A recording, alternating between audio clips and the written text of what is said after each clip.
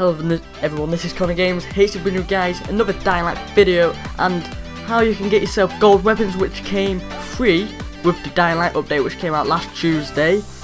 And so, if you don't know, in Light there is a colour code for different various uh, weapons. So, there's a different so you get, I'm going to name, I'm going to say all of them now. You most probably know them all, but I'm going to go through them all anyway.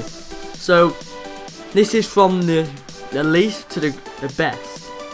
So, white is not the best. It's like the worst one you can get. So, I'm to go through all more. Green, I mean white, green, blue, violet, and orange. Orange is the best. Obviously not now. Gold is the best now. Um, but this video is not about that. But obviously, before this update came out, orange was the best. Um, and you've got a strategy, but you obviously cannot change it unless it's online. Um, which I actually do have a code for it. But anyway, to get orange, to get gold, and it, the, the, it is, I'm guessing it is gold, but it could also be yellow, but it looks gold. And I guess it could be gold, but it could also be yellow.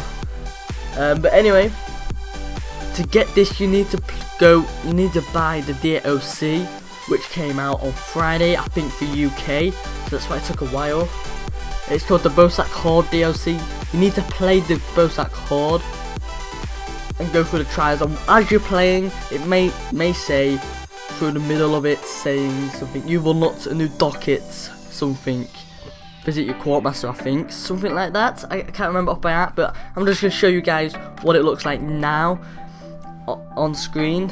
It, I, I can't remember off by heart what it says. It says something similar to that.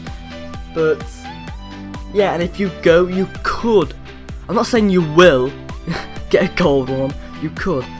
I was playing with someone. I, I haven't even got a gold one yet. But I know you can because I know someone who has. His first go, he got a gold. Um, it was a, it was a, um, go it was now, but it wasn't a good weapon. It took you have to proper sledgehammer. I think I think it is a sledgehammer. And I don't like sledgehammers are alright, but all I've got from the dockets is I think machete maybe and a axe. That's all I've got. No gold, mainly violet. But anyway, if you guys didn't know that, you can get actually gold weapons in the game now. I think that's the only way to get it. If you know another way, then leave a comment down below.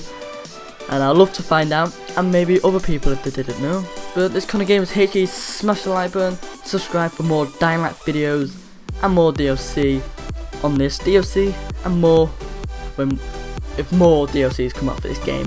I'm proud to bring them out for you guys straight away this time. And tune in tomorrow.